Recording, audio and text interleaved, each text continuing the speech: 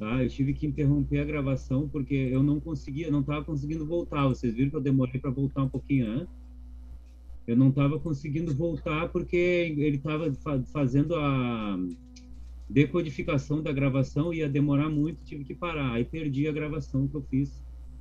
Perdi a gravação que eu fiz até agora aqui dos 40 minutos da aula, né? Isso aí eu não sei como é que eu vou fazer para resolver esse negócio aí, né? Porque sempre vai cair a nossa aula. A gente vai ter que interromper a aula no início, nos primeiros 20 minutos, e depois a gente retornar, né? Senão sempre vai dar esse problema aí. Deixa eu ver aqui, tela 2. Tela 2. Né? Então, infelizmente, a gente perdeu aí o, o início da gravação, mas é, na aula que vem eu vou cuidar disso aí. Eu não tinha me dado conta que isso ia acontecer. Então, olha aqui, ó. Então, eu coloquei ali coloquei ali o. A, mandei ele puxar a variável de novo para o nível lógico é, falso. Então, quando ele passar por aqui, ele faz o chute do pezinho lá e passa a variável para o nível lógico falso. E aí sim, aí beleza, agora é só agora é só partir para abraço, né?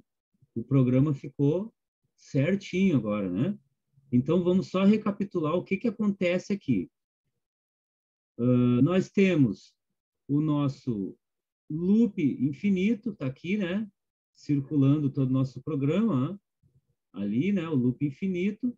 Todo o programa está dentro desse loop infinito, ou seja, ele vai fazer infinitamente o que está aqui dentro. E o que, que é que está aqui dentro?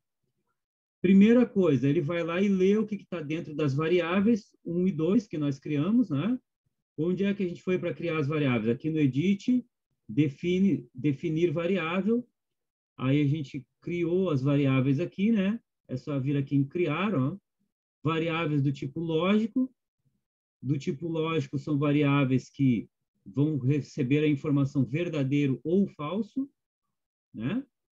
E aí elas estão sendo verificadas aqui.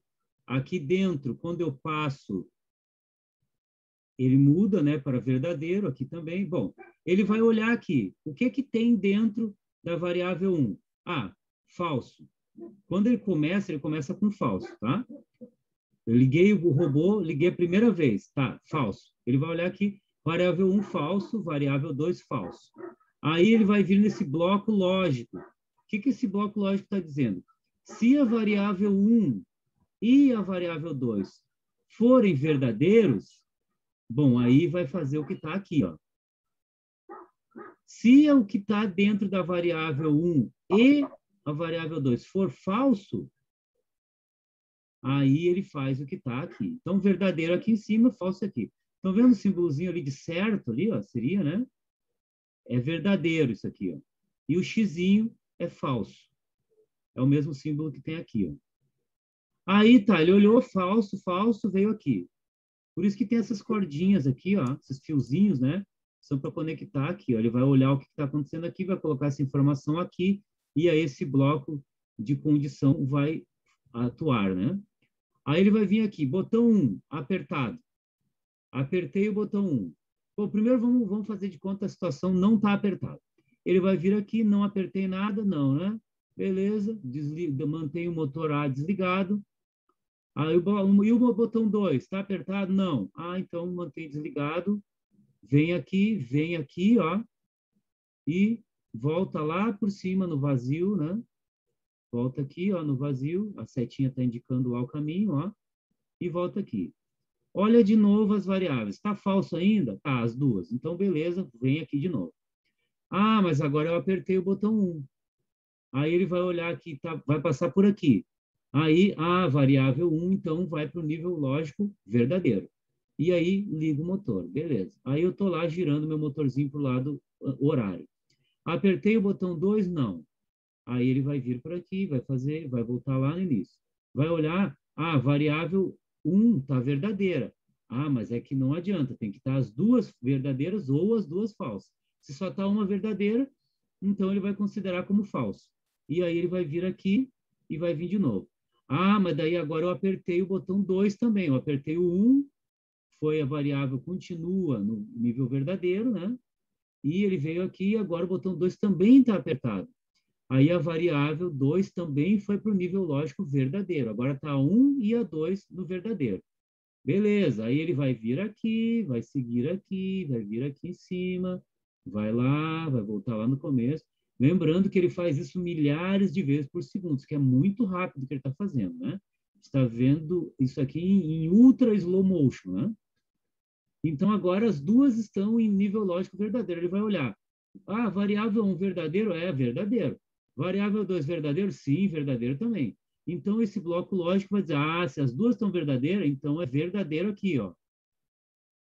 Aí ele vai vir aqui e vai fazer o quê?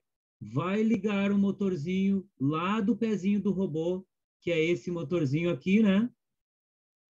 Vai ligar esse motor aqui que está lá na porta C, vai chutar a bolinha para frente, vai voltar o pezinho para trás, vai esperar cinco segundos. E aí, ó, aqui, ó, chutou para frente, esperou um segundo, voltou o pezinho para trás, esperou cinco segundos, e muda a variável 1 e a variável 2 para o nível lógico falso. Olha aqui, eu vou clicar aqui para vocês verem o que, que esse bloco está fazendo. Ó. Cliquei aqui, olha lá. Ó. Ele vai, então, escrever o quê? Falso. Ali, ó. E ali na variável 2, vai escrever também o quê? Falso. Né? E aí, com isso, beleza, agora as duas variáveis estão no nível lógico falso. Aí, ele vai vir aqui, né, o caminhozinho aquele de novo de sempre, porque ele está dentro do loop, então ele volta lá para o início do programa, vem aqui e olha, ah, agora variável 1, como é que tá? Ah, tá falso, porque eu mudei lá ela, né? E a variável 2, como é que tá? Tá falso também. Ah, falso com falso, ele vai fazer essa parte de baixo aqui, que é o que? Libera o controle de novo dos motores para mim. Então, do motor de baixo, né? Então, enquanto eu apertar um botão de cada vez, eu consigo controlar o motor lá da mesa para a direita ou para a esquerda. Quando eu aperto os dois juntos, as duas variáveis, 1 e 2, vão para o nível lógico verdadeiro, e aí eu entro nessa parte de cima aqui do programa. Ok? Então, assim, só para tirar uma dúvida aqui que vocês estão vendo. Ah, professor, mas aqui tem variável 1, aqui tem variável 1, aqui tem variável 1, uh, um, um, dois, dois, ali também. Mas como assim, né? É a mesma variável? É a mesma variável. Professor, o volume está muito baixo. Está muito baixo meu volume? Não tá, não. Ó, então é para ti aí, tá? Mas vai, vamos ver se volta ao normal agora. Ah, deu, agora melhorou. Tá. Então, assim, é, o que vocês precisam entender, galerinha, é que o que importa é o nome da variável. Ela pode aparecer mil vezes dentro do programa. Se ela tiver o mesmo nome, é a mesma variável. Ela só está aparecendo em lugares diferentes. Mas se você mexer aqui, mexe lá. Se você mexer aqui, mexe lá também. Ok? Porque está tudo interligado. O que importa é o nome da variável. Você está chamando a variável 2 aqui, está mexendo nela. O que, a partir do momento que você mudou a informação que está aqui dentro, essa informação vai mudar em todos os lugares onde a variável 2 aparecer. Ok? Então, é assim que, que acontece aí no nosso programa. E aí, o que, que acharam? Acharam difícil ou acharam fácil? Mais ou menos. Mais ou menos. Mais ou menos? Uh, eu entendi Achei legal, assim, ó. Mais ou menos. Eu entendi muito assim, eu entendi bastante. Mas ah, menos. eu queria ver se eu entendi direito, senhor. Então, assim, ó, a, o comando, a variável 1 e 2, eu, do início, eu não entendi ainda para que elas servem ainda. Essas aqui na frente? Isso. Tá, agora eu vou te explicar então. É que assim, ó, isso aqui é um bloco lógico, tá? Esse bloquinho aqui é um bloco lógico. Esse bloquinho ele vai comparar alguma coisa, vai comparar uma coisa com outra coisa. E aí ele vai dizer para mim se a, se a informação dessa comparação que ele fez é verdadeira ou é falsa. Mas para ele comparar uma coisa com outra coisa, eu tenho que dizer para ele que coisas são essas que eu quero comparar. Então aqui eu estou dizendo, ó, eu tive que chamar, a gente diz assim, né? Eu tive que chamar a variável 2 e a, a 1 e a 2 aqui na frente para dizer para ele, ó, tá vendo essa cordinha que tem aqui, ó? Vocês estão vendo essas cordinhas verdinhas aqui? Para um fiozinho, né? Alguma coisa assim? Sim, sir. Conecto a variável aqui, ó, com essa cordinha. É como se eu estou dizendo para ele assim, ó, o que eu quero que tu compare é a variável 2, que eu liguei aqui, ó, nessa portinha, com a variável 1, ó, que eu cliquei, que eu liguei aqui nessa portinha. Ele vai, ele vai comparar, né, a gente pode dizer, pensar assim também, ele vai comparar a informação A com a informação B. Se elas forem iguais, ele vai dizer que é verdadeiro. Se elas forem verdadeiras, né, as duas, ele vai dizer que é verdadeiro. Se as duas forem falsas, ele vai dizer que é falso. Mas o que, que é que está? O que, que é a informação A e a informação B? A informação A é o que eu conectei aqui na informação A. E o que, que eu conectei aqui? A variável 2 ele vai olhar, então, o que, que tem lá na variável 2 e vai colocar aqui dentro, ó, na, no lugar, na posição A, lá da, do bloco lógico, né? E aqui ele vai pegar o que está dentro da variável 1 e vai botar aqui dentro, ó, da, da posição da, do espacinho B lá dentro do, do bloco lógico. Aí ele vai olhar lá, a informação A e a informação B são verdadeiras? Ah, são. Aí ele faz o que está aqui, ó, ele vem por aqui e faz isso aqui. Ou então, ah, as informações que tem na. A informação A e a B são falsas? São. Aí ele vem e vem aqui, né? Manda essa informação aqui pela essa cordinha aqui simbolizada, ó. E aí ele vai fazer isso aqui, ó. Ele vai vir por aqui e vai fazer isso aqui. Então, esse aqui é um bloco de comparação lógica. Depois tem outros aqui. Não se preocupem, tá, galera? Se vocês acharem assim, ah, mas isso aí é meio confuso, não entendi direito, né? Isso aí é assim mesmo. Tudo que é novo, a gente não entende direito de começo, assim, fica meio confuso. Vocês vão entender melhor quando a gente estiver lá na aula programando, vocês vão fazer lá e vão ver acontecer. Aí vocês vão entender melhor. Não se preocupem, é normal. Eu também, quando eu estudei programação pela primeira vez, eu não entendi nada na primeira aula. Aí depois eu fui aprendendo devagarinho, devagarinho, e aí fiquei super fera nisso daí. E vocês vão ficar também, tá? Então, assim, é mais ou menos assim que funciona. Esses blocos de, de comparação, no caso aqui é um bloco de comparação lógico, né? Porque essas variáveis são lógicas. O que, que é uma variável lógica? É uma variável que só vai caber nela a informação verdadeira ou falso. Aí tem as variáveis numéricas, né? Que aí eu vou botar números dentro delas. E olha aqui que interessante, tem blocos de comparação matemáticos, né? onde eu vou somar, multiplicar, dividir os valores das variáveis numéricas. Minha é irmã isso? faz isso, mas ela não programa em bloco, ela programa em Python. Isso. Só, Python. por favor, não fale de matemática, chamar essas aulas. Tá, ok. Nós vamos chegar lá, né? Tem uma outra linguagem de programação que eu estou louco para ensinar para vocês, mas a gente tem que andar devagarinho, porque é assim, né? Antes de aprender, antes de correr, a gente tem que aprender a caminhar, né? Se a gente não sabe nem caminhar e quer sair correndo, o que acontece? Cai, né? Então, aqui, primeiro a gente está aprendendo a caminhar e lá na frente a gente vai correr. O que, que eu quero dizer com isso? Eu quero ensinar vocês a programar em C. Programar em C é um outro jeito de programação que a gente... Professor, C, C não é a linguagem de programação mais antiga? É uma linguagem de programação, como é que eu posso dizer assim que ela deu origem a todas as outras, praticamente. É uma linguagem. É... Primária, senhor? É, eu acho que essa aí não é a palavra. Assim, Precursora. É, eu acho que essa palavra. Primária esse... tem um significado um pouquinho diferente no geral. É, primário parece uma é, coisa. Tem... Uma coisa, né? Olhem aqui, ó, essa. Estão vendo aqui que eu abri uma outra coisa? Eu abri aqui Arduino, estão vendo aqui? Estão vendo na minha tela aqui? Sim. preto para vocês aí. Estão vendo.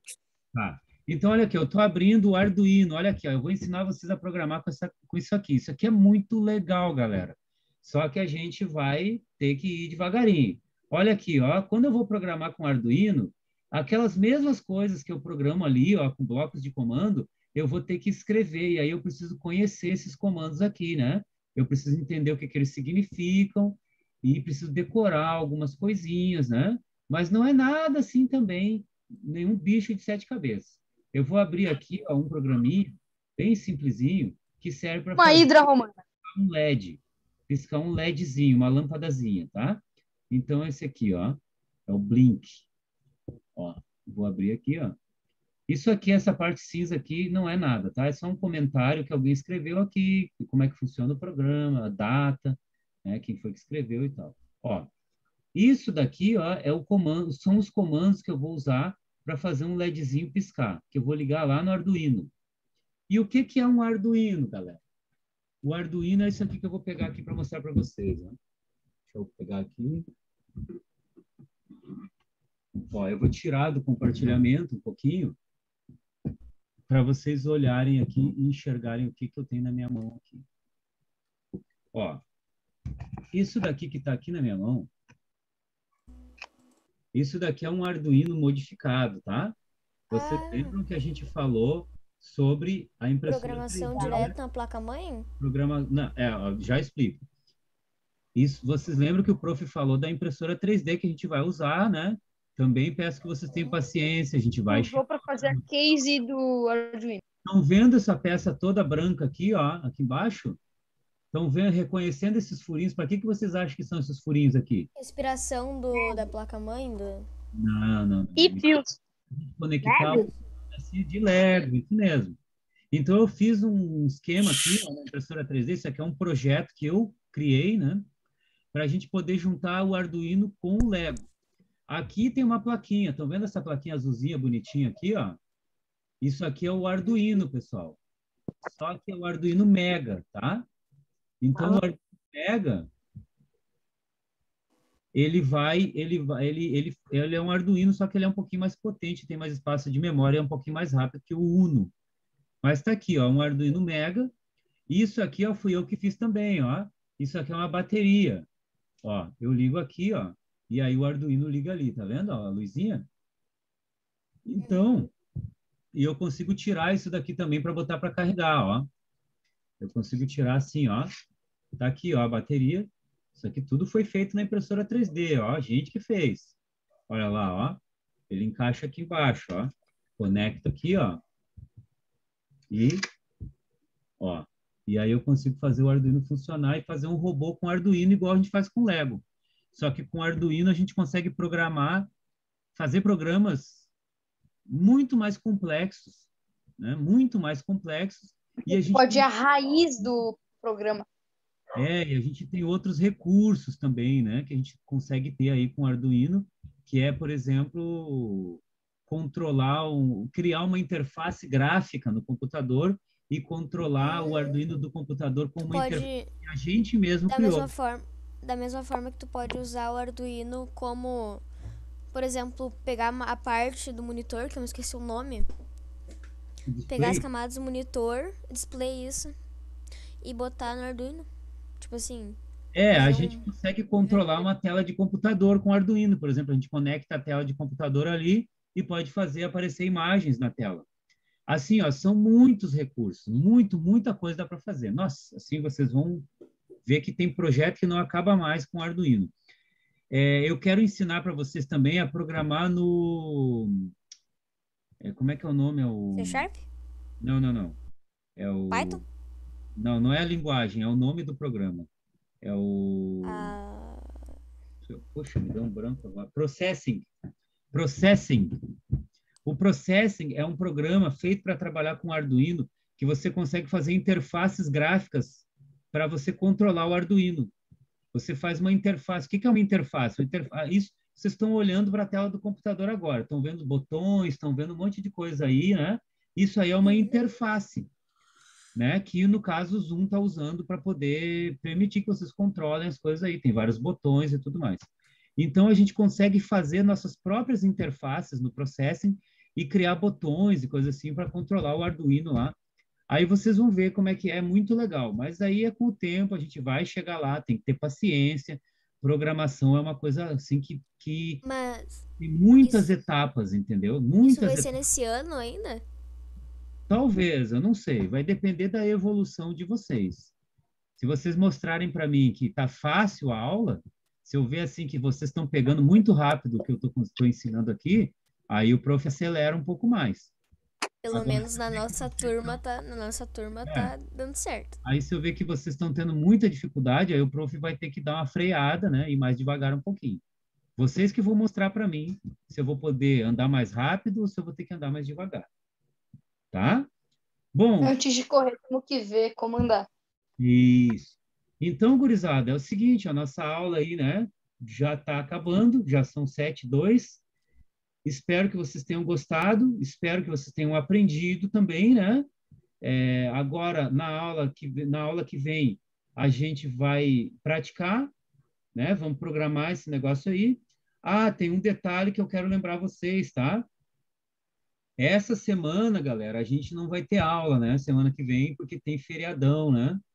E aí a nossa aula cai na segunda, uns na segunda, outros na terça. Quem tem aula na segunda e na terça não vai ter aula semana que vem de robótica presencial. A gente vai ter a nossa aulinha normal, essa daqui, né, no computador, mas a gente não vai ter a aula presencial por causa do feriado, né?